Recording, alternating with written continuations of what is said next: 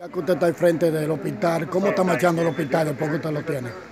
Eh, luego de, nuestra llegada al hospital, el hospital ha comenzado a fluir eh, continuamente.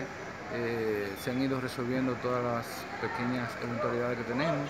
Hay otras que están en proceso de solución, pero en sentido general el hospital ha ido marchando satisfactoriamente. Se hablaba de deuda, ya se ha ido resolviendo ese problema. Sí, claro. eh, el hospital, tú sabes que viene arrastrando una deuda de hace muchos años y que se fue incrementando fruto de muchas situaciones que se dan dentro del hospital, pero que eh, hemos podido ir reduciendo eh, gradualmente. Sabes que tenemos poco tiempo, pero gracias a Dios y a través de algunas diligencias que se hicieron se pudieron hacer un descuento considerable en la deuda. Respecto a las cancelaciones, ¿no han seguido las cancelaciones? No, ah, actualmente las cancelaciones están paradas. Estamos haciendo el levantamiento de todo el personal.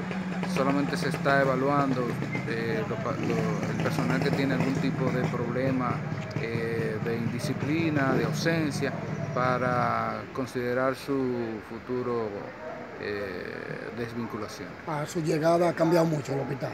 Sí, señor. Gracias. Yo siempre estoy preparada para lo que sea. Me gustó eso. Gracias.